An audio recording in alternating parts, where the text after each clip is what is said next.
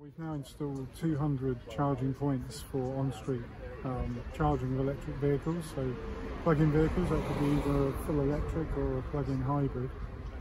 Um, and this is helping to meet the rapid rise in the number of electric vehicles that people are using. Uh, but some people don't have uh, off-street parking where they can hook up to their own house uh, and need to be able to, to charge up on street. So these um, charging points are now available. We're hoping to get a lot more out in the coming years, but this is just the start. But it is a great moment. 200 um, to start with, and a lot of very pleased people.